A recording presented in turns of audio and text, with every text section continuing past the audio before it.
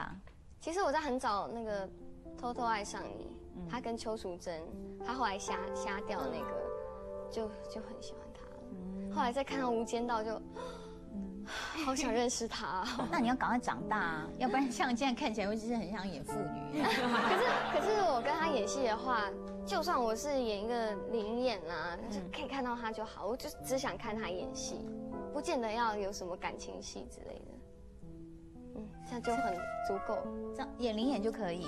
对啊，那金马奖我们试着找他来颁奖，然后你要不要当递奖小姐？好啊，就一直拿着不肯交给他。好啊，好啊，你在旁边看他这样，在后台一直跟他拍照吧。开心的还好啊好啊，你是不是很疯掉？可是杨丞琳自己现在已经有跟很多很受欢迎的男生演戏了耶，像现在我们看到贺军翔啊、余文乐也有，嗯，对，他有合作过，嗯哼，李威啊，呃，李威、邱泽，还有朱孝天，哦，对，这当中有没有你比较喜欢的类型？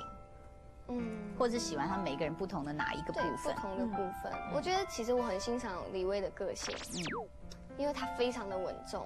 哎呦，我刚本来想接一句说，因为会跟狗仔队对撞，他稳重啊，非常稳重，而且他非常的大方，嗯，而且他很认真，嗯，对我觉得个性方面真的，李威的个性真的是非常的好。那为什么没有？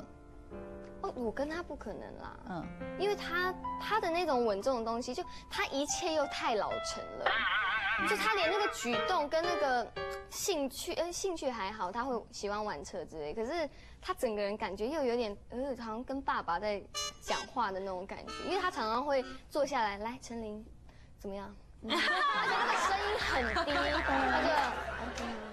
可是又配上一个嘟嘴，反差对对对，他脸是娃娃脸，可是他就是讲话一切都是慢条斯理，然后很老成，然后我就觉得好像今天爸爸在问我说今天功课写的如何的那种感觉。嗯，那笑天呢？笑天他就是像哥哥，嗯，而且他也是很老成的一个，可是他老老成的方式跟李威不一样，他是那种一直念、一直念、一直念的那种。就譬如说，啊，桃子啊，我今天跟你讲啊，你你这件衣服。不 OK 啦！我告诉你，那个哦，在那忠孝东路的转弯的哪个地方，就开始咯咯咯咯咯咯咯一直讲一直讲，然后你就会觉得，其实我很想很想离开现场。所以李威像爸爸的话，笑天像妈妈。对对对，其实他他们两个的那个优点就是他们都很细心，然后很成熟。哦，嗯，那余文乐，余文乐跟贺军翔是同一类的。哈，对，这么幼稚啊？对，就是比较像。像真的很像哥们，那跟邱泽合作呢？邱泽就是一个非常像大家看到他的样子，就是很与世无争，还是嗯，他就是一种很无所谓。他是不是已经退出演艺圈了？我不知道哎，嗯，很久没联络。但是他就是，其实他也会有幽默的时候，只是看起来随时好像都很忧郁的感觉。然后他真的就是一个艺术家。嗯，然后一个人都躲在一个地方，在听音乐啊，不然就弹吉他，不然就看书。